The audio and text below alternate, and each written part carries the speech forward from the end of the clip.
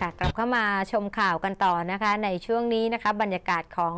คำว่า Bike for Mum นะคะ ทั่วทั้งประเทศ ประชาชนคนไทยค่ะ ก็พร้อมใจที่จะปั่นนะคะ ไปดูที่จังหวัดกำแพงเพชรค่ะ ทางผู้ว่าราชการจังหวัดกำแพงเพชร ก็ได้นำหัวหน้าส่วนราชการปั่นจักรยานสำรวจเส้นทางที่จะใช้ปั่นจริงในกิจกรรมปั่นเพื่อแม่ค่ะ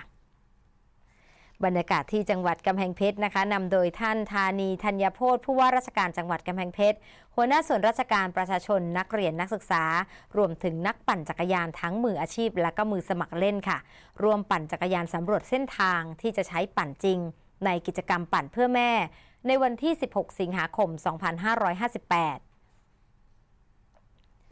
ด้วยสมเด็จพระบรมโอรสาธิราช สยามกุฎราชกุมาร ทรงมีพระราชปณิธาน ในการจัดกิจกรรม จักรยาน ถวายพระเกียรติ ร่วมกับประสบนิกรชาวไทยทั้งแผ่นดิน เนื่องในโอกาสมหามงคล เฉลิมพระชนมพรรษา สมเด็จพระนางเจ้าพระบรมราชินีนาถและในคราวประชุมคณะรัฐมนตรี เมื่อวันที่ 12 พฤษภาคม 2558 ได้มีมติให้รัฐบาลเป็นเจ้าภาพในการจัดกิจกรรม จักรยานถวายพระเกียรติ สมเด็จพระนางเจ้า พระบรมราชินีนาถในวันอาทิตย์ที่ 16 สิงหาคม 2558 และการจัดกิจกรรมในจังหวัดต่างๆ ให้เป็นไปด้วยความสมัครใจ และความพร้อมของแต่ละจังหวัด โดยรัฐบาลได้ขอพระราชานุญาต จัดกิจกรรมเพื่อถวายเป็นพระราชสดุดี เพื่อสนองพระราชปณิธาน สมเด็จพระบรมโอรสาธิราช สยามกุฎราชกุมาร โดยใช้ชื่อว่า